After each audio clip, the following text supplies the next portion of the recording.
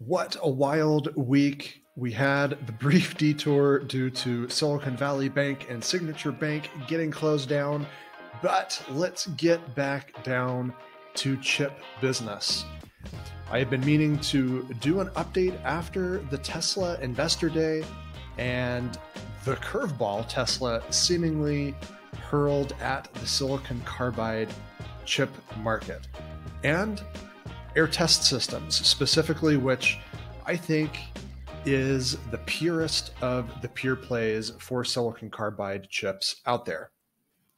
Now, if you're not sure what silicon carbide chips are, we have a link to our deeper dive into that embedded here in the video as well as in the comments below. Make sure you check that out. But let's refer here really quick to our semiconductor industry flowchart. Aehr Test Systems is a chip manufacturing equipment company. So it sits in this nice little chokehold point right in the middle of the flow of the industry. And specifically, Aehr Test Systems makes testing equipment specifically for silicon carbide wafers and chips. So I, think this is a fantastic pure play on silicon carbide, which is critical to the EV market which means something Tesla says is going to have a pretty big bearing on this company's fate. I'm going to get to that in just a moment, but I want to spend just a moment talking about some of the other kind of wild things that have happened here in recent weeks since the last update in January on Aehr Test Systems, and maybe just briefly get you up to speed on what got us to this point in the last two months. Because as you can see from this chart here, Aehr Test System stock is down a bit from its highs. Not completely surprising. This is a small company and a volatile stock, but let me share with you what has happened as of late. Before continuing, let me remind you to hit the like button and subscribe to the channel if this video is helpful as you do your own investment research and increase your knowledge of business and technology. We really appreciate the support as subscribing to the channel helps us continue putting out content like this.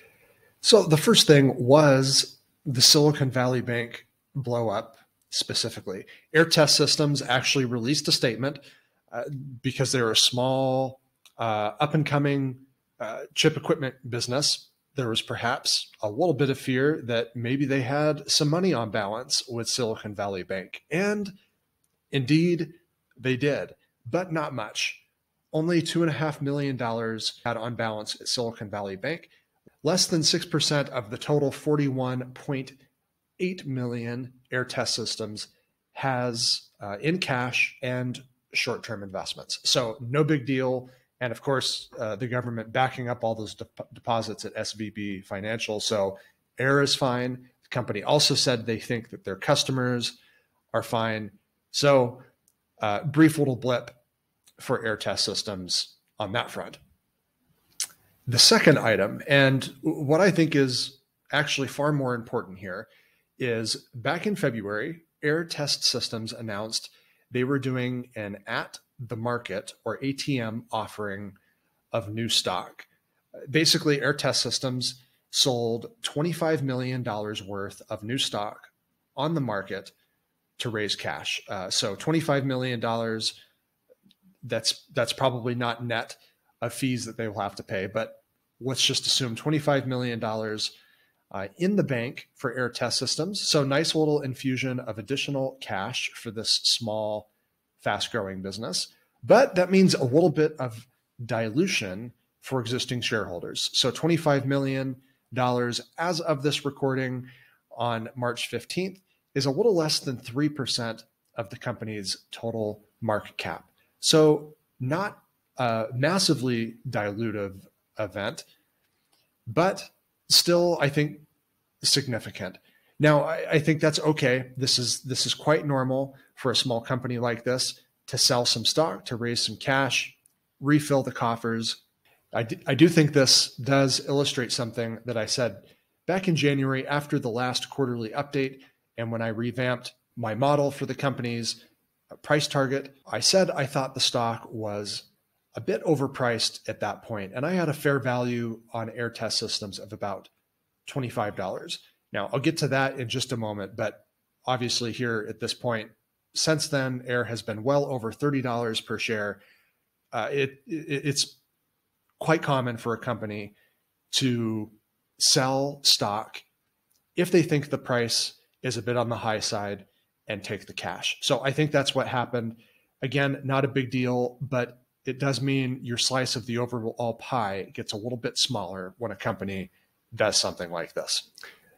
Okay, third point, and the real zinger that I lured you all here with Tesla Investor Day comment. So, of course, at Tesla Investor Day, the company made a comment about coming up with some new designs that seemingly reduced the need for silicon carbide chips by 75%. We had a very brief little dip across the silicon carbide chip universe, including at Aehr Test Systems, and then a really quick rebound after that.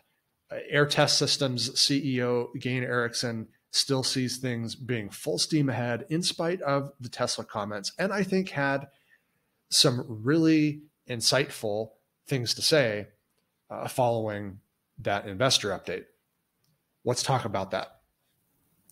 Now, Erickson pointed something out uh, that's very important in some prepared remarks. Let me just read a couple of highlights for you so you get an idea of what Tesla was getting at with their silicon carbide device reduction comments. So Erickson said Tesla clarified that the 75% reduction in silicon carbide chips applies only to the next generation lower cost drive units to be included in the new model platform. Uh, now, that, if you follow Tesla, is referring to this Model 2 that has yet to be announced, but a lower cost vehicle that Tesla has apparently been developing for the last few years at least. Tesla clarified that this new 75% reduction in silicon carbide chips will not impact the current high performance model platforms, including the models S and X and models 3 and Y vehicles. Also, Aehr Test Systems believe that the new chips in the lower cost models will be 100 amps per device versus 50 amps per device today, and likely 50% or more larger in surface area. Therefore, the number of wafers required will be less impacted. In other words, what Aehr Test Systems is saying here is though Tesla is finding a way to reduce the amount of silicon carbide needed in an up and coming lower cost model, uh, basically the overall demand for silicon carbide wafers, uh, those disks that eventually get chopped up into smaller chips, demand is still on the rise for silicon carbide wafers as the overall EV industry continues to expand. One more comment here from Erickson.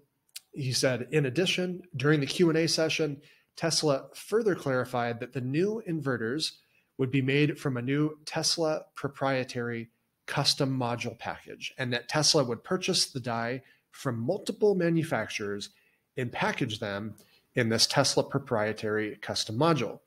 Again, Aehr Test Systems sees this as a natural roadmap and consistent with the roadmaps stated by major manufacturers of silicon carbide, where the electric vehicle inverters will migrate multi-chip modules to reduce power conversion losses, improve thermal performance, simplify design, and lower overall cost of the inverter system. Therefore, we believe the business use case for our solution actually increases wafer level test and burn in of 100% of silicon carbide die and extended burn in times will be required to earn Tesla's business. Again, in other words, it's full steam ahead as far as Aehr test, test systems is con- concerned with its silicon carbide uh, testing equipment. And it looks like the overall demand for silicon carbide wafers and eventually chips and devices really remains unchanged after Tesla's investor day. Now, the big question I know you were all asking and wanting to know is Aehr Test Systems stock a buy? Well, in conjunction with that Tesla Investor Day update, Aehr Test Systems management reiterated their previous guidance for revenue to be 60 million to 70 million for the current fiscal year that ends this summer, summer 2023. So, no change in the outlook yet, even though the company has really outperformed the first two quarters of the fiscal year, still re- reiterating 60 to 70 million in revenue for the year. At the low end of that revenue guidance, that would represent about 18% year over year growth. At the high end, which is where I tend to think Aehr is going to end up uh, reporting its revenue for fiscal 2023, that represents more like 37, 38% year over year revenue growth, which uh, is fantastic. Fantastic results for this company, especially given the economic environment uh, that that we're in right now. Nothing to complain about there, but it does represent a big slowdown from the first half of the fiscal year. In the latest quarter that Aehr reported in January 2023, revenue growth was 54%. So if they end up only growing 37, 38% for the full year period, that means we're in for some big year over year slowdowns in Q3 and Q4. Now, the Q3, Q3 report is coming up, uh, most likely in April. So perhaps less than a month from now, we'll get another update from Aehr Test Systems. I'll get you up to speed on what I'm thinking at that point. But at this particular junction, my fair value estimate on Aehr Test Systems remains unchanged. Uh, 25 bucks is what I think fair value is. I said if the stock dipped below 30 bucks, I'd be interested in buying. It did dip below 30, but very briefly. And as of this recording, we are now well above 30 bucks again. Personally, I'm a little bit uncomfortable to add to my position at this particular point in time, but this stock is very much still on my watch list. I again, I'll reiterate here, I think this is the purest of the pure play on silicon carbide. So if you think there's going to be a lot of growth for this particular type of chip substrate in the coming decade from the electric vehicle market, uh, from renewable energy projects and uh, electrification of the energy grid in general, electric trains, uh, electric electrified infrastructure in general, all over the place. I think Aehr Test, Test Systems deserves to be on your watch list. Uh, this just looks a little bit frothy uh, to me at this point still. So I'm being patient. One other note here that a few of you have asked me about in comments on previous videos that I think uh, is worth mentioning here.